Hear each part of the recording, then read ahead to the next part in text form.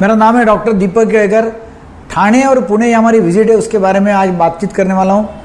ठाणे में हमारी विज़िट हमारे हॉस्पिटल में है 29 अगस्त, बृहस्पतिवार थर्सडे को है, और पुणे विज़िट जो है, वो है 30 तारीख को पुणे विज़िट में हमारे हॉस्पिटल में ये हमारी विज़िट है। केड़कर हॉस्पिटल के एक्सपर्ट डॉक्टर्स वहाँ आएँगे, और वो पेशेंट लोगों की जाँच करके उनका इलाज करेंगे। शराब का व्यसन, शराब की लत, सेक्स की बीमारियाँ, नपुंसकत्व शीघ्र पतन ऐसी सेक्स की बीमारियाँ, लैंगिक समस्या है, या फिर फोबिया, पैनिक अटैक, चिंता रोग, डिप्रेशन, नर्वसनेस और अलग अलग प्रकार के मानसिक बीमारियाँ।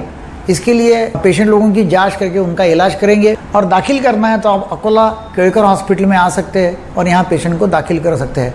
सभी तरह सभी तरह के मनोरुग्ण का इलाज हम करते हैं और ये मौका दिया है, इसका फ़ायदा ज़रूर उठाएगा। नीचे नंबर दिए, वहाँ आप कॉन्टैक्ट करके अधिक जानकारी ले सकते हैं। Thank you very much